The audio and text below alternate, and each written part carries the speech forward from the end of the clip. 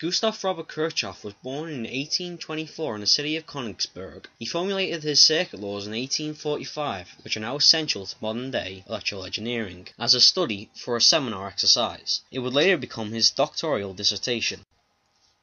Kirchhoff's first law, the current law, dictates that the sum of a current entering a junction is always equal to the sum of a current leaving the junction. Essentially, if you had 5 amps and 6 amps entering a junction, leaving that junction would be an 11 amp current. Kirchhoff's second law is the voltage law, which dictates that the sum of all voltage drops around the loop is equal to zero. In an equation standpoint, that is v to the power of ab plus v to the power of bc plus v to the power of cd plus v to the power of dA is equal to 0.